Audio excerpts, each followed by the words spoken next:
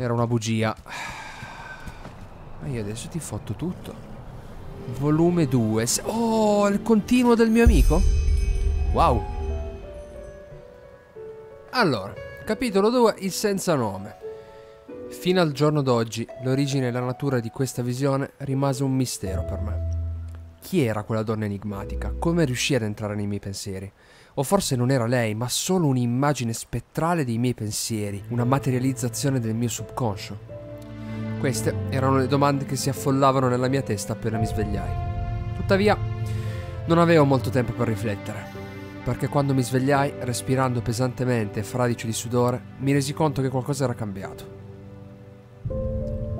Disorientato mi alzai e mi strofinai gli occhi che mi bruciavano. Mi guardai intorno nella stanza e le mie ossa scricchiolarono con riluttanza quando voltai la testa a sinistra e a destra. Nulla. L'ambiente circostante sembrava perfettamente normale. Lasciai ancora vagare lo sguardo per la stanza angusta, dalla pesante porta di legno lungo il piccolo armadio fino al tavolo da scrivano nell'angolo a destra, su cui giacevano in ordine, in disordine, numerosi libri e pergamene. Esitante chiusi gli occhi e sprofondai in me stesso. No. La ripugnanza non si trova nell'ambiente intorno a me. Proveniva da una strana sensazione nel mio stomaco che fino ad allora era per me sconosciuta.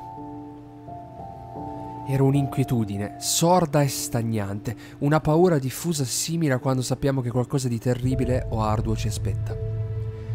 Non di meno, quella sensazione sembrava familiare, come una cupa verità che era stata repressa nel mio subconscio per tutti quegli anni e che ora aveva trovato la strada nella mia mente come delle braccia brillanti sotto uno strato sottile di ghiaccio che aveva cominciato a sciogliersi. Frastornato distesi le mani sul mio cazzo. Frastornato distesi le mani sul mio stomaco in modo istintivo come un bambino. Naturalmente non servì. La strana e sorda sensazione rimase. Mi alzai con un senso di vertigine e guardai fuori dalla stretta finestra sopra il tavolo. La visione che mi era sembrata un'eternità, in realtà sembrava essere durata non più di un'ora. Tuttavia, neppure un suono da fuori raggiunse le mie orecchie e la luce era tenue e fioca. Solo un pallido grigio cono di luce solare rischiarava la danza di centinaia di confusi granelli di polvere nell'aria. In aggiunta al mio malessere avevo la nausea, mi bruciavano gli occhi e mi sentivo debole, come me tutte le mattine. Acqua, ho bisogno di acqua. Mi diressi con indolenza verso l'abbeveratoio, che era colmo di acqua fresca di sorgente, vicino alla pesante porta di legno. Sentii il mio malessere aggravarsi e per un momento si presentò nella mia mente uno scenario assurdo. Cosa avrei visto specchiandomi nell'acqua quando mi fossi sporto sopra l'abbeveratoio? L'aspetto deforme e putrefatto che avevo visto nella rovina? O il volto ordinario di un uomo che aveva vissuto dominato dalle coincidenze e dall'assenza di alternative invece di una volontà libera. Combattei contro il desiderio di allontanarmi dall'abbeveratoio e invece andrai di fronte ad esso in ginocchio. Ma la mia paura era infondata. Nessun verme pieno di pus strisciava sulla faccia che mi guardava riflessa, nessuna pelle screpolata rilevava la carne sulle ossa al di sotto. Solo un sogno, è stato solo un sogno. Sorrisi debolmente, confuso riguardo alla mia follia, Formai una ciotola con le mani e bevi tre profondi sorsi. Poi mi spruzzai dell'acqua sulla faccia e con essa mi massaggiai il corpo, i capelli, le braccia e i piedi. Presi la spazzola di setole di cinghiale e mi sfregai la pelle finché cominciò a irritarsi, così a caso. Infine presi la mia veste marrone di sacerdote dal gancio di ghisa della porta, la indossai e mi appoggiai stancamente contro il muro. Mi sentivo meglio, ma non bene. Ripetei diverse volte la frase nella mia mente. In questo modo cercavo di allontanare i resti di quello che credevo fosse stato un incubo. Tuttavia, non ottenni l'effetto desiderato, perché ogni volta che chiudevo gli occhi le immagini del mio cadavere inondavano la mia mente e il mio malessere aumentò come se volesse enfatizzare il significato del sogno. Sospirai e feci quello che facevo sempre quando ero in contemplazione. Cominciai a camminare avanti e indietro per la stanza. Ricordo troppo bene come questo momento fu la prima volta nella mia vita in cui il silenzio mi sembrò opprimente. Quanto desideravo sentire il cigolio familiare delle ruote dei carri, le grida gioiose del fornaio o del raglio di un asino. Ma non c'era nulla, assolutamente nulla da sentire, neppure il canto desolato del vento che di solito era onnipresente a Fogville. Anche grazie alla luce fioca della mia camera, mi sembrava di essere in una scena di lutto di un quadro di Timatral. Sempre le stesse immagini, la bara, il cadavere e la donna velata e le sue parole. Segui il fuoco, lascia la tua vita falsa. C'era forse una connessione tra queste parole e la strana sensazione nel mio stomaco. Perché mai sognavo queste cose? Cosa significavano per la retta via? Mi rannuvolai in volto. Vita falsa, che mucchio di sciocchezze. Vivevo esattamente la vita che la via aveva scelto per me anche se talvolta mi venivano dei pensieri cupi e provavo invidia per gli avventurieri che si fermavano a riposare a Fogville durante i loro viaggi. Comunque ciò non significava che la mia vita zelante fosse in alcun modo falsa. No. Ero fortunato di dover vivere a fianco del mio miserabile padre spalmando il grasso sulla pelle degli animali. Ed ero ancora più fortunato di non essere uno degli sventurati che si tagliavano la gola a vicenda per un pezzo di pane raffermo alla città sotterranea di Ark. Mi strofinai gli occhi. Questi sono proprio i pensieri che spingono le persone a deviare dalla retta via. Si sentono attratte da un'assurda visione o dalla vita avventurosa e vengono trascinati nel dolore e nell'infelicità. Col voto incupito, pensai alle storie terribili che talvolta si sentivano raccontare a Fogville. Si trattava sempre di persone egoiste o affamate di potere che avevano portato della gente innocente alla rovina insieme a loro. Infine mi fermai. No, la mia vita è esattamente come dovrebbe essere. È davvero così, Jael? Trasalì. Che cosa per Cristo, cosa per le fiamme? Irritato mi mossi intorno cercando di trovare l'origine della voce. Nulla, ero solo. Allora da dove veniva questa voce? Dovevo averla immaginata, per forza, ero arrivato pure a questo. Sentivo delle voci. Questo sogno mi sta facendo impazzire. Arrabbiato con me stesso ricominciai a muovermi. Dopo solo due passi, tuttavia, la voce risuonò ancora nella mia mente ed insieme ad essa la strana sensazione nel mio stomaco iniziò a bruciare come un incendio attizzato dal vento. Immagini e sensazioni salirono alla mia coscienza, pesanti e incalzanti, ma allo stesso tempo familiari. Questa volta la voce parlò con un tono misto di cordoglio e di scherno. Per quanto tempo ancora vuoi chiudere gli occhi di fronte alla verità? Cosa deve succedere per farti finalmente capire? Questa volta, a dire il vero, rotolai all'indietro sentendo la voce. Non tanto per le parole, ma per la sensazione che si scatenarono in, per, le se, per, la, per le sensazioni che si scatenarono in me. Molti pensieri si affollarono nella mia mente, ma non solo quelli relativi al mio sogno. Mi vidi giacere sul letto, farecio di sudore, tremante. Mi vidi mentre guardavo malinconicamente lontano mentre Mad Pilea mi stava leggendo la via. Insieme a questi pensieri giunse un malessere strisciante, una sensazione di solitudine e paura. Istintivamente mi premetti le mani sullo stomaco. Per la retta via, sto impazzendo, dannazione, sto davvero impazzendo. Mi voltai veloce come un fulmine e mi affrettai verso il tavolo sul quale giaceva aperto un volume rilegato in pelle. Era una trascrizione a mano della via che avevo da poco iniziato prima delle festività della notte della stella d'estate. Da cinque decadi era diventato possibile riprodurre le opere scritte con un sistema quasi magico, grazie alla strana costruzione di una specie di stampante ideata da un intelligente ricercatore Starling. Ok, la chiamavano stampalettere a causa del suo funzionamento, la magia bestiale. La trascrizione a mano, tuttavia, era ancora considerata un segno di dedizione spirituale, aveva un che di meditativo, era rilassante, ed era quello di cui avevo bisogno per scacciare il panico che cresceva nel mio stomaco. Rapidamente mi aggiustai sulla sedia, aprì il calamaio e presi la penna. Il lavoro libera la mente, mi dissi. Mi sentii incoraggiato dal fatto che quella raffica di immagini la sensazione che le accompagnava erano diminuite. Era stato solo un sogno e niente di più, un sogno spaventoso davvero, ma solo un sogno. Sì, concentrarsi, scrivere qualche pagina, recitare un verso e la paura se ne andrà. nulla mi ricorderà più del corpo sfigurato nella bara. Di te. E domani riuscirò a continuare la mia vita, senza senso. Certo, sarà tutto come al solito, e poi un giorno morirò in pace.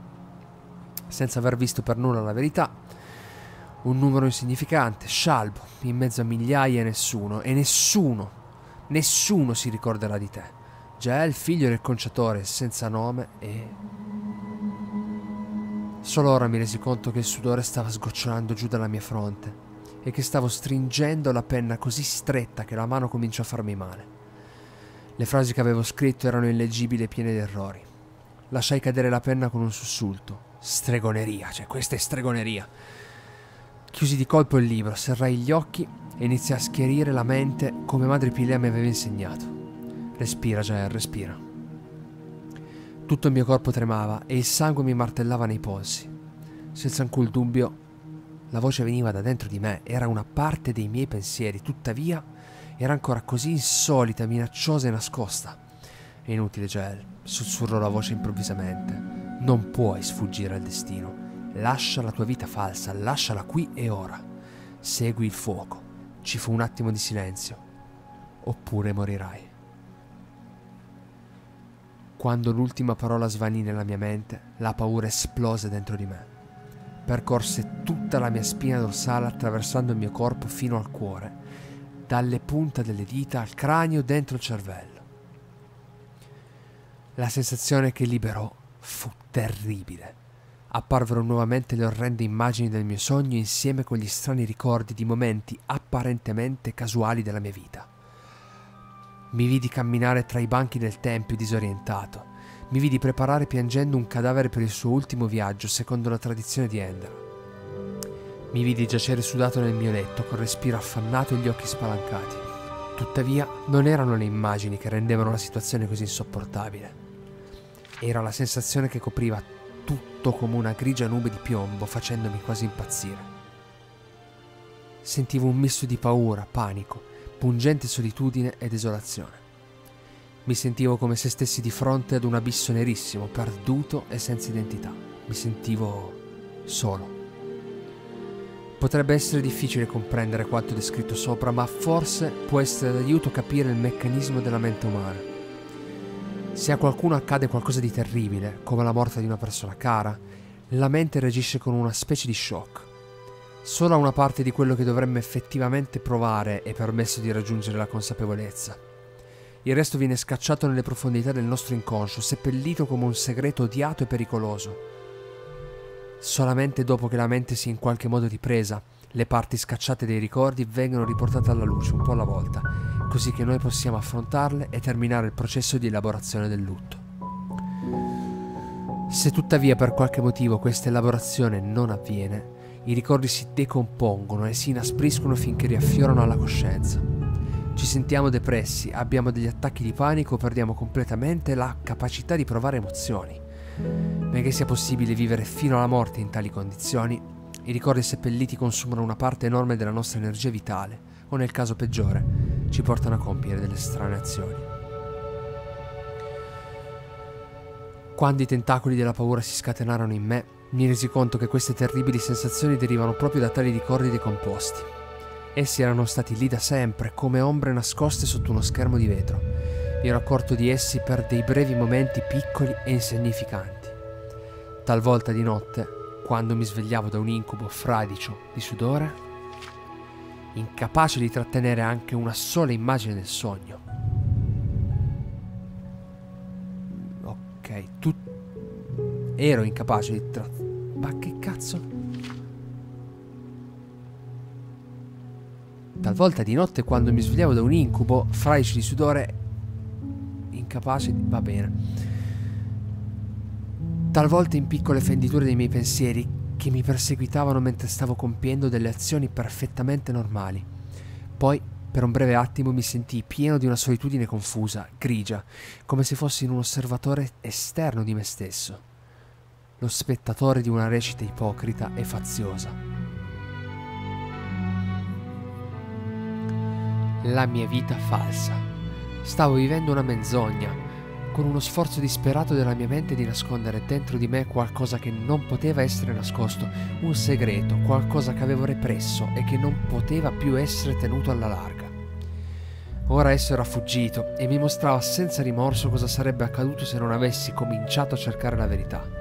Morte, tu stai morendo. Però alcuni di voi potrebbero sapere che le intuizioni e le azioni sono cose profondamente diverse. Anche se la voce mi aveva costretto a guardare la mia reale situazione, ed io l'avevo guardata, non volevo accettarla emisi un grido gutturale, liberai il tavolo degli utensili per scrivere e richiusi lo scavello. Diedi un colpo alla parete della camera con un pugno, ignorando il dolore bruciante che pervase il mio braccio. Volevo in qualche modo scacciare la sensazione che avevo dentro, così da poter riavere indietro la mia vita. Ma la resistenza era vana, e ogni secondo che passava amplificava il panico che mi stringeva la gola e mi sommergeva come una marea senza rimorsi. Solo quando il mio respiro non fu più che un debole ansimare, mi lasciai andare a terra con la schiena contro la parete e il volto coperto dalle mani, esausto e inutile. Sentivo le mie lacrime salate che mi bruciavano le guance. Iniziai a singhiozzare come un bambino. Cosa devo fare? Per Malfas, cosa devo fare? Io mormorai. La mia voce suonava incerta e infelice. Per un po' non accadde nulla, poi udii ancora la voce nella mia mente, tenera, malinconica. Tu conosci già la risposta, Jael. Lei ti ha detto cosa fare. Questa volta la voce non acutizzò la mia solitudine, no. Per un attimo mi sentii quasi sicuro e fu il momento in cui presi la mia decisione. Adesso vado e scanno un cristiano, così. Di solito va a finire così, queste robe qua. Sì, lei aveva ragione. Sapevo cosa dovevo fare, lo sapevo e l'avevo sempre saputo, tuttavia, come un soldato alle prime armi che non aveva capito che i gloriosi racconti di guerra erano solo delle storie finché non ha perso alla sua gamba al, finché non ha perso al sua gamba la sua gamba avevo dovuto vedere la mia morte per riuscire a comprendere dovevo cominciare a cercare la verità sepolta dentro di me a quel momento non mi era chiaro che cosa avesse inteso dire la, non, la donna velata parlando del fuoco. Era forse un simbolo della verità, la verità dietro la sensazione di vuota e solitudine che avevo imparato a reprimere e che non poteva più essere repressa. L'uomo rinato che in seguito sarebbe stato conosciuto come il macellaio di Ark non sapeva ancora che presto avrebbe trovato la risposta a questa domanda. I miei ricordi delle ore successive alla mia decisione sono molto vaghi. Sarebbe sbagliato supporre che la sensazione opprimente nel mio stomaco svanisse dopo che avevo compreso la sua natura. No, era ancora lì. E ogni volta che mi sorgevano dei dubbi mentre preparavo i bagagli diventava più forte e presente, come un maestro che era determinato a mantenere sulla retta via uno studente dalla volontà debole, usando rimproveri e parole dure. Tuttavia, Sentivo una risolutezza che non avevo mai sentito prima nella mia vita, anzi, sentivo uno spirito di ottimismo, per assurdo che possa sembrare dopo quanto mi era accaduto. Dopo aver raccolto le mie cose, lasciai il tempio, che era stato la mia casa per più di dieci anni. Guardai per un'ultima volta il suo interno, che ispirava timore. Là c'era la statua di pietra di Malfas, tutto vestito e bardato d'acciaio, che guardava avanti con determinazione. Nella mano sinistra la statua aveva delle catene spezzate e la mano destra puntava in avanti, mostrando orgogliosamente la via piena di energia. Per l'ultima volta chiusi gli occhi e sentii l'onnipresente odore misto di incenso, lavande e rose, un profumo che un tempo mi dava una sensazione di conforto. Ora invece mi pizzicava spiacevolmente il naso e mi ricordava l'unguento che gli abitanti delle isole di Rilè, di Chilè, usavano per imbalsamare i morti. Deglutii pesantemente e mi chiusi la porta dietro le spalle. Il contenuto del sacco che portavo sulle spalle era scarso. Una pagnotta fresca di Enderal, una borraccia, la mia ruvida coperta di cotone, un sacchetto di monete e i santi 101 versi che decisi di portare con me dopo un attimo di esitazione. Il libro sembrava pesante e la sua rilegatura era in pelle ruvida e beh, appiccicosa. Perché era appiccicosa? Tuttavia, il mio attaccamento al Nova Luce, la cui santa parola, ai, ai Nova Luce magari, la cui santa parola era il compasso spirituale per ogni abitante devoto di Enderal e che era stato il mio solo compagno nella mia vita solitaria, eccetto per Madre Pilea, era troppo profonda. Una cosa era chiara per me, ovunque il mio viaggio mi avesse portato avevo bisogno di cibo e di abiti decenti. Le mie vesti di sacerdote erano troppo pesanti e ingombranti e sarebbero state troppo calde l'estate. Inoltre, mi sembravano una specie di fardello completamente inappropriate per il compito che mi prefiggevo. Anche se ogni viaggiatore, eccetto i briganti, mi avrebbe trattato con rispetto, le vesti erano un simbolo della mia vecchia vita come sacerdote.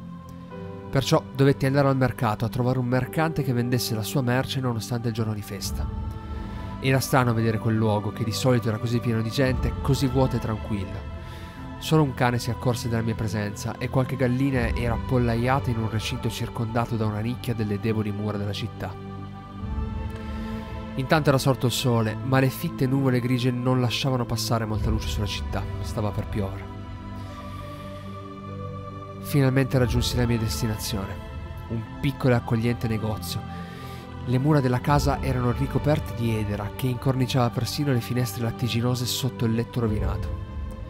Un carretto pieno di casse e barili stava di fronte all'entrata come se fosse stato abbandonato dal suo proprietario durante il lavoro, che stava probabilmente esaminando l'odore dell'alcol, della polvere da sparo e della carne cotta nell'aria delle ghirlande che avrebbero brillato in tutti i colori se ci fosse stata abbastanza luce del sole, pendevano mollemente tra le case.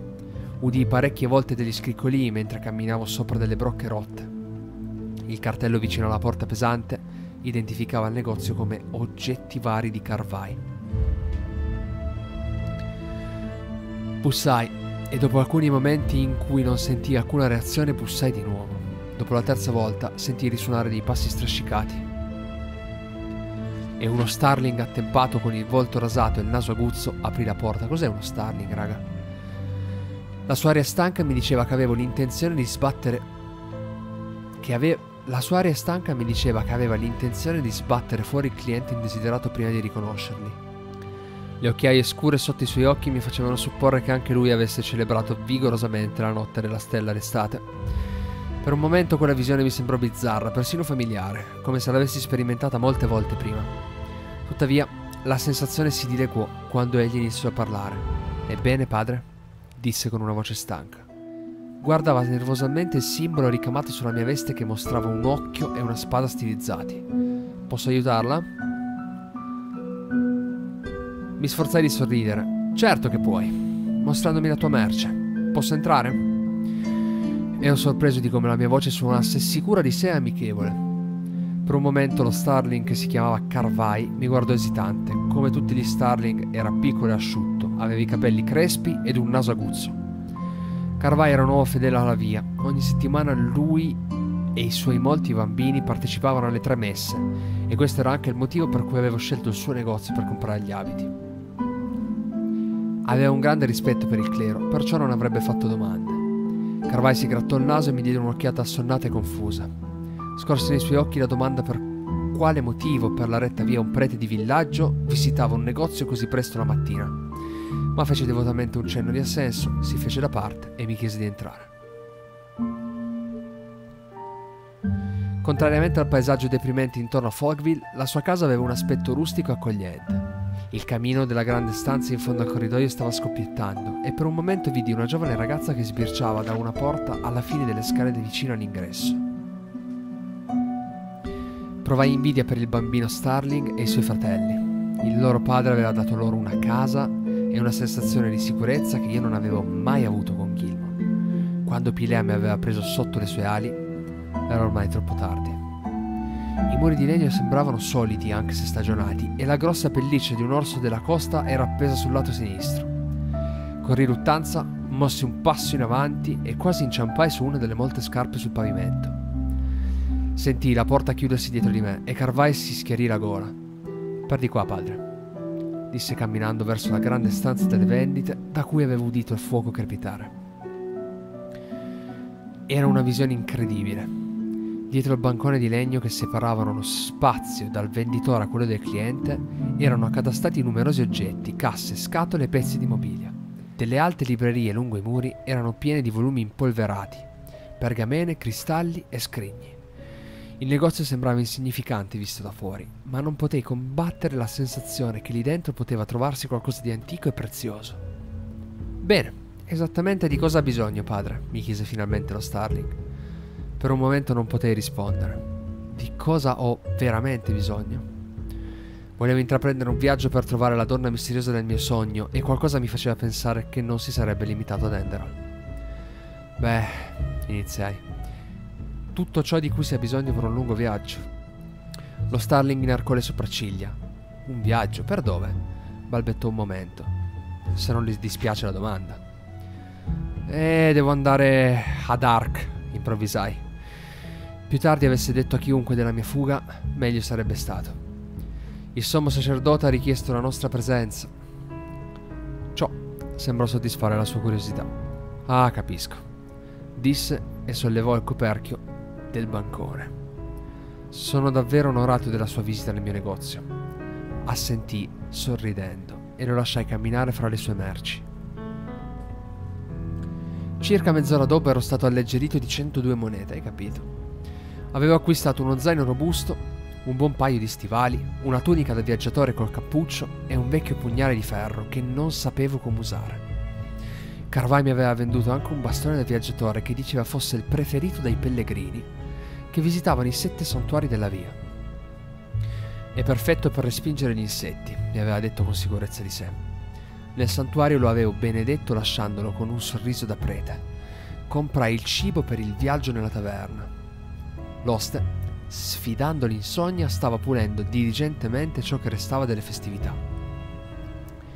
Mi lanciò uno sguardo confuso, ma dopo alcune spiegazioni sui miei progetti, mi vendette a buon prezzo una pagnotta saporita, della frutta secca e una vaschetta di erba sussurrante sott'aceto, ah pensa a te, che era popolare tra i viaggiatori a causa della durata. Anche lui mi chiese la benedizione, che gli impartii provando una strana sensazione.